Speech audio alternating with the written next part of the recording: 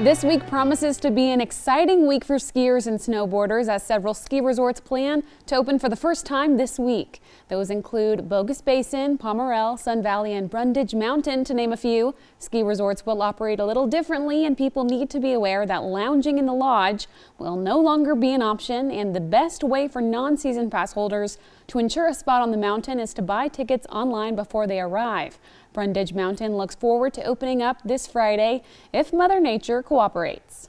There are two things we're always known for here at Brundage Mountain. One is the best snow in Idaho. That's not just the powder, but that's our great snow conditions, our grooming, our weather. And the other thing is our friendliness.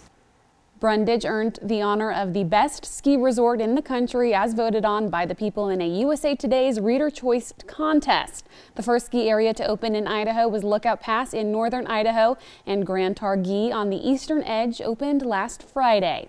The winter fun doesn't stop there. Eagle Island State Park is gearing up for the winter season using snowmaking efforts for the first time this season.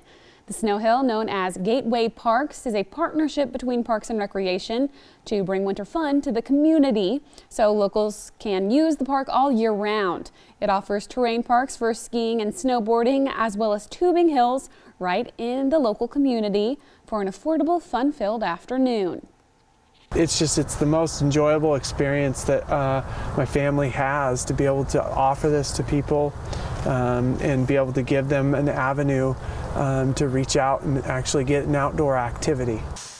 Gateway Parks is set to open on Thanksgiving Day and will be open seven days a week from 10:30 to 5:30.